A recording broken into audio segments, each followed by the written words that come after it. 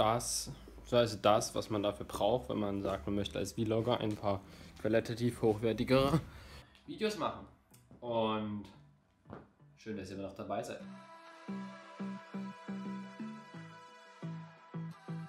Das Basic Item, was man benötigt, um Vlogger zu sein, ist ein Smartphone. Jedes erdenkliche Smartphone kann in der heutigen Zeit Videos aufnehmen. Umso neuer, umso besser natürlich. Katie Neistat filmt die Hälfte seiner Vlogs, wenn er rennen ist, zum Beispiel immer nur mit seinem Smartphone, aber hat allerdings auch ein iPhone X. Ah, ich kann ja schon Kuchen backen. Benötigt man noch? Enthusiasmus, Kreativität, ein PC, Schnittprogramm. Das war's eigentlich. Sonst setzt ihr nur noch euch selbst durch eure Kreativität eure Grenzen. Was braucht man eigentlich als Basic Vlogger? So, so, ich sollte mal gucken, was hier.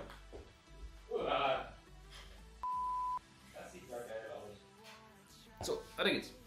Ähm, was benötigt man noch alles als Vlogger neben seinem Smartphone? Was man auch noch benötigt, wenn man sagen möchte, etwas qualitativ hochwertigeres machen, da viele Kameras den Support über die Bildübertragung beim Handy äh, unterstützen möchten, die Sony Alpha 6300, 6500 Serie, wenn man sagt, man hat neben einen extra Monitor, wo man sich sieht, weil viele Kameras haben kein Flip-Out-Screen, wenige Screens zum Rausklappen, wenn man sich selber sieht.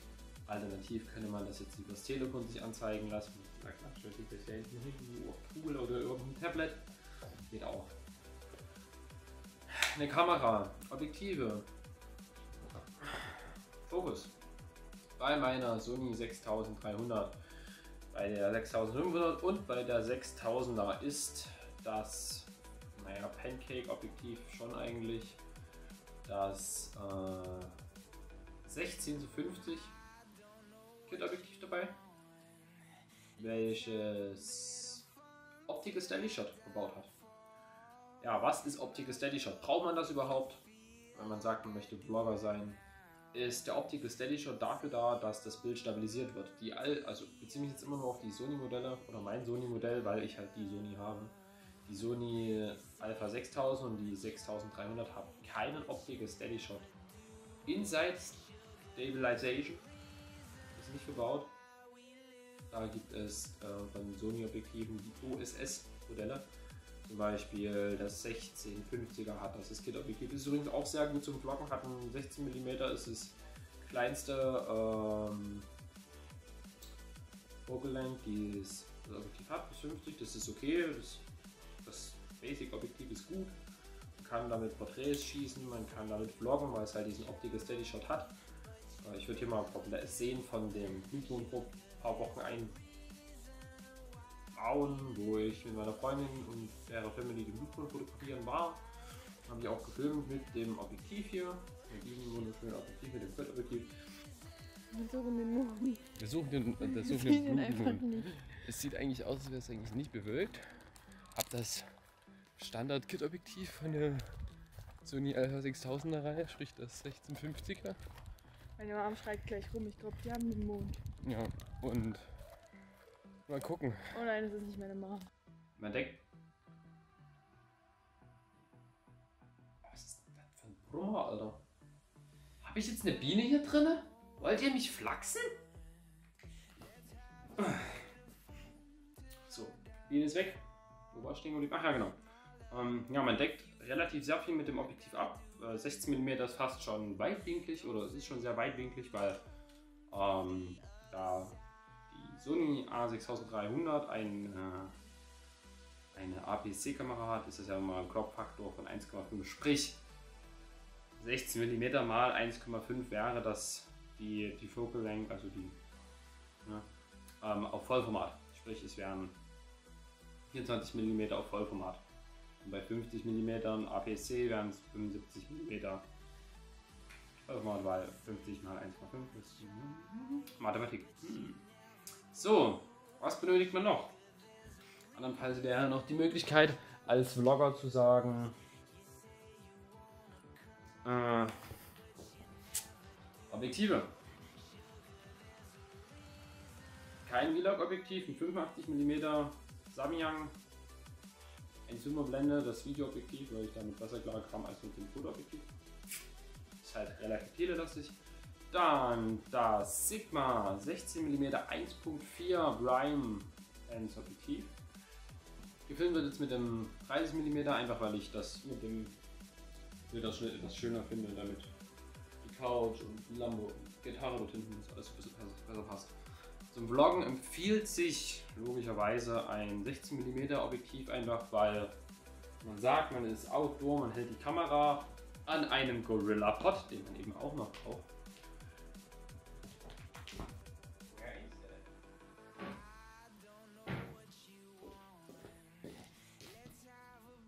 Man die Kamera dann an einen Gorilla Pod festmacht und sagt, hey, hallo, hier, ich filme mich, wow ähm, hast du mit einem 16 mm Objektiv hast du einfach mehr Bildfläche, was abgedeckt wird. Sprich, ja, sieht schöner aus.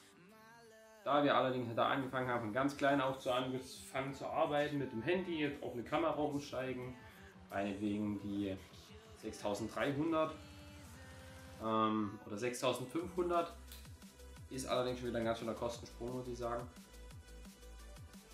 reicht das Pankit, also das Kit-Objektiv völlig aus zum Vloggen. Wenn jemand sagt, okay, ich möchte jetzt mich mehr der Fotografie widmen,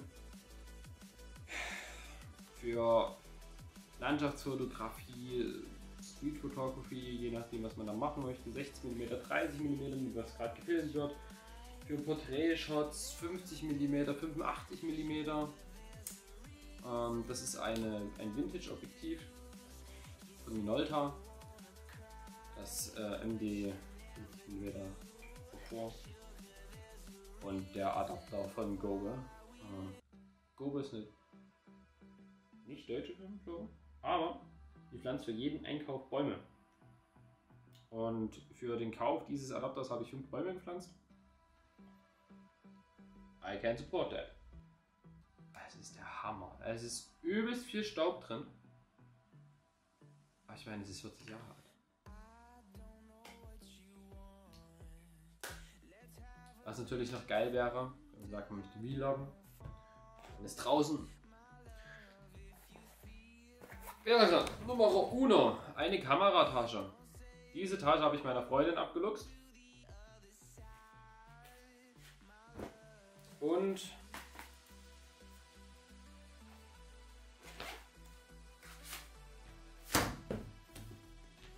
ein Weißabgleich. Oder eine Graukarte für den Weißabgleich. Beim Vloggen ist es schon wieder schwieriger, weil halt man draußen ne, verändert sich die Sonne immer wieder. Jedes Mal dann einen neuen manuellen Weißabgleich zu machen wäre sinnlos. Es gibt ja die automatische Abfrage von Sony zum Beispiel, die das halt relativ gut erkennt.